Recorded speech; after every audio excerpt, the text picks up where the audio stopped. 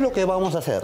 Y regreso otra vez al artículo 307 de la Constitución del 79 que vamos a restaurar. Una constitución de Fujimori fue retirada su firma. Es un documento que nadie firme, es un documento que no firme. Antauro Mala quiere restituir la Constitución de 1979. ¿Qué se esconde detrás de su intención y por qué sería muy perjudicial para el país volver a este antiguo régimen? Aquí te cuento. Primero, algunos datos. La Constitución de 1979 fue fruto de una asamblea constituyente integrada mayoritariamente por partidos de izquierda, en especial el Partido Aprista Peruano, encabezado por Aya de la Torre en ese momento, el Frente Obrero Nacional, el Partido Socialista Peruano y el Partido Comunista Peruano. El resultado fue una constitución con 101 artículos más que la constitución actual. Y como ya ha sido probado en evidencia empírica, contra más larga una constitución, lo más probable es que el PBI per cápita sea menor. Y este fue el caso de los resultados que vimos en los 10 años de vigencia de la Constitución de 1979. ¿Y por qué? Estamos hablando de una constitución muchísimo más intervencionista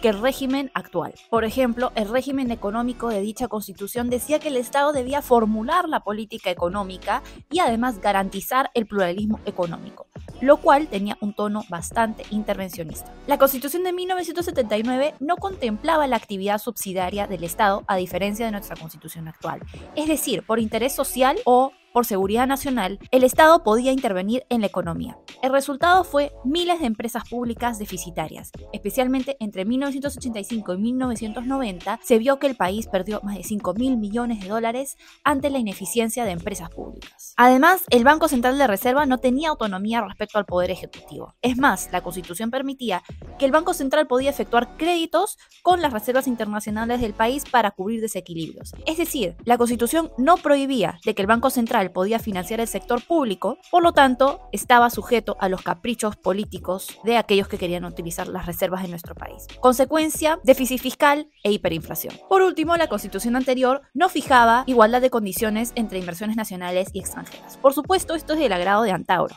que tiene ideas muy hostiles contra la empresa transnacional y contra los extranjeros en general. Es más, Antauro ha llegado a sugerir que deberíamos de vivir en la autarquía, es decir, cerrarnos al libre comercio de completo, lo cual es por supuesto una idea fascista y que nos llevaría a la hambruna. No te dejes engañar por las ideas románticas de Antauro de volver a una constitución que fue un absoluto desastre para nuestro país. Cuéntame en los comentarios qué piensas acerca de esta idea trasnochada de Antauro.